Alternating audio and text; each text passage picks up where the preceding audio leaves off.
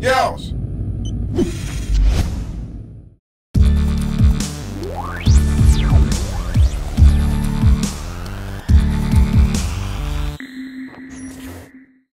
What's up everybody, Whack4863 in the place to be and today I bring you Raw, Realms of Ancient War. Now this is a hack and slash RPG and it offers you three different characters that you can play as. You can play as a rogue, you can play as a sorcerer, or you can play as a warrior.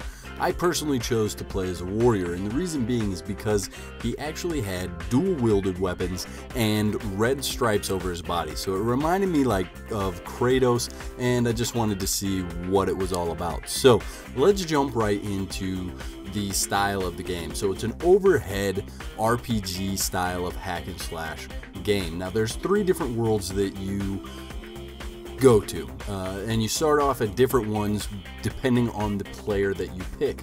Now, the fighting style is very singular. It stays the same throughout the entire game.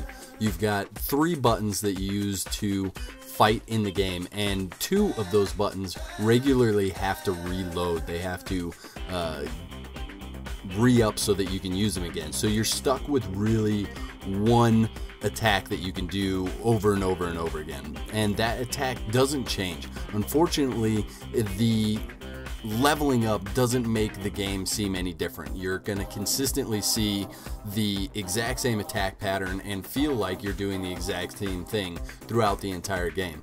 Now, they did a good job with the graphics of the map and how detailed it was, the colors that they added, everything like that. However, you never get up close and personal with your character, which I thought was a problem because you really didn't get to know your character. You didn't feel like you had that connection. Now, the idea behind the game is that you're somebody that is living in a land that was ravaged by war 10 years or so ago, and it really has just been beaten to death. You can still see the signs of all the war that's gone on, and now there's a new enemy that's come to challenge the ownership of these different lands. And so you're going into a whole new war all over again before anything's even settled down or recovered. Now, this game is on Xbox Live Arcade, PlayStation Network, or a digital based PC download.